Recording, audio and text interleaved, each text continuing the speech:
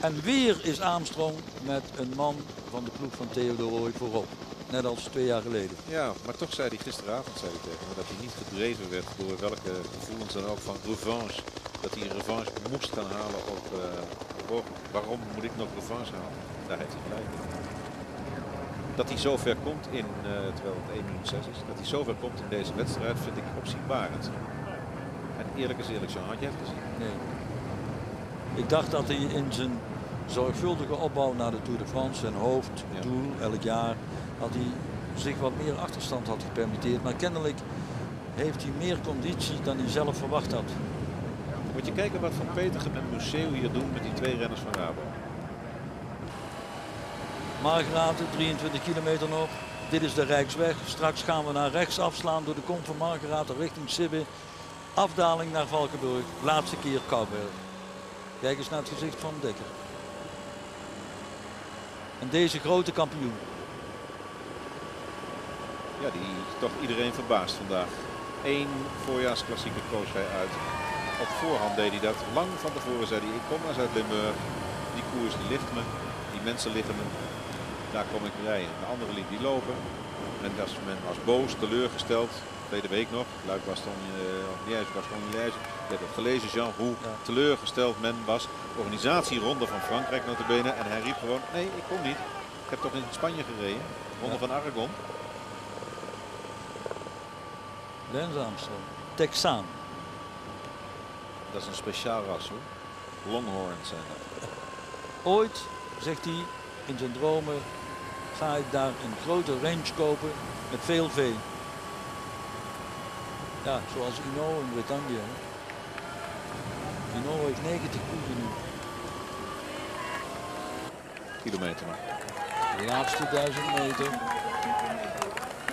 Dus 258 kilometer nu gefietst. En het komt aan op een zo'n mooie sprint à deux. Ja. Nou, zet uw geld maar. Jean. Ja, ja, een diepe zucht, diepe zucht. Dekker heeft wel kansen hoor, daar ja, niet. Heeft zeker kansen.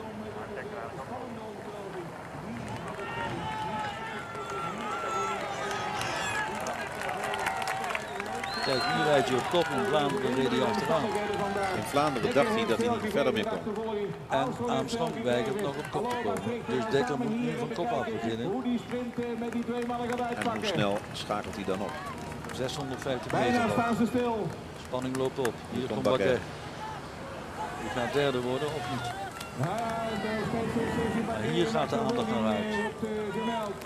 De finale meters voor Erik Dekker en Lens Armstrong. En wie heeft de meeste macht in de benen na 258,4 kilometer? Baguet nadert. Maar niet zodanig dat ze echt moeten zitten. Hij gaat nu die bocht op. Ze er natuurlijk niet echt een zuurplas van maken. Baguet voor de derde plaats, maar hoe is het voorin? Bijna stilstaand. Derkse Maspes, 30 jaar geleden. Olympisch Stadion. 34 minuten lang stilstaan. Kijk eens. Baguet. Als hij doorgaat, dan krijg je Argentin Criquillon. Weet je dat nog? Luik was een Luik. Als ze stil blijven staan, dan komt Dekker gaat aan, Dekker gaat aan. Ja, wacht even. Daar komt de aanval van de Amerikanen en Dekker gaat van kop af. En die gaat van kop af, gaat hij de koers winnen, ja of nee?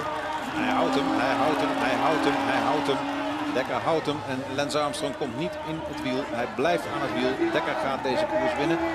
Dekker wint de koers. Erik Dekker wint de Amstel Gold Race. Lance Armstrong is de nummer 2.